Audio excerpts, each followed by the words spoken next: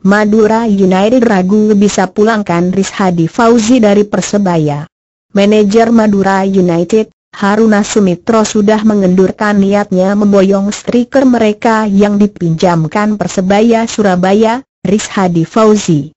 Pasalnya, pemain tersebut tampaknya masih betah bermain di Surabaya. Niat mengembalikan Hadi itu pasti.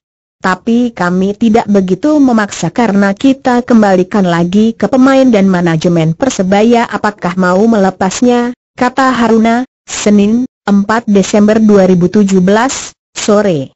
Haruna juga mengatakan peluang kembalinya Hadi ke tubuh Madura United masih 50-50.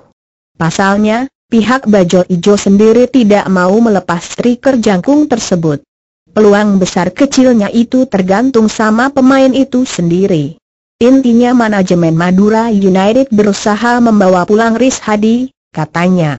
Meski demikian, pihak Madura United mengaku sudah menjalin komunikasi yang intens dengan pihak Persebaya terkait penarikan pemain yang sudah mengemas 6 gol di Liga 2 itu.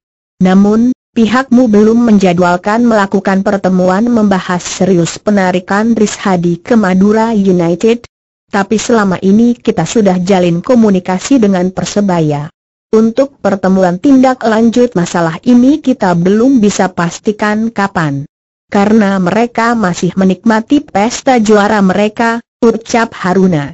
Riz Hadi Fauzi cenderung memilih bertahan di Persebaya, lantaran ingin menghormati sisa kontraknya sampai akhir Desember 2017. Selain itu, selama ini dirinya mengaku belum ada tawaran dari klub mana pun untuk menggunakan jasanya. Di sisi lain, status Riz Hadi Fauzi bersama Persebaya hanyalah sebagai pemain pinjaman.